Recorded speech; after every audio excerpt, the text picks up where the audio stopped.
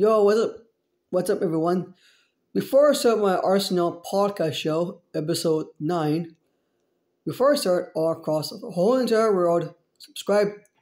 If you're new, share out the video, push the notifications, and the good old like.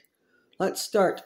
Okay, since this morning was Arsenal against uh, Sheffield United, and the fixture starts now. Eddie Nketiah makes it 1 0 after the second half. Eddie Nketiah makes it 2 0.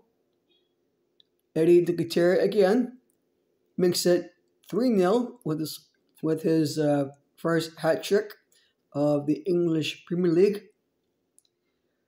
Fabio Vieira, Vieira gets his 80, gets his makes it uh, 4 0 on a uh, penalty kick.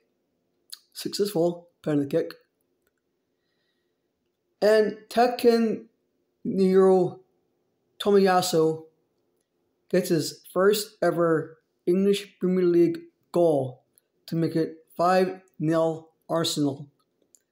So the best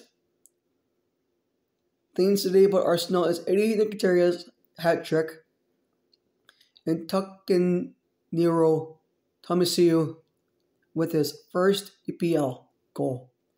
So that's it for the video on my Arsenal podcast show. My final thoughts. All across the whole, the whole entire world.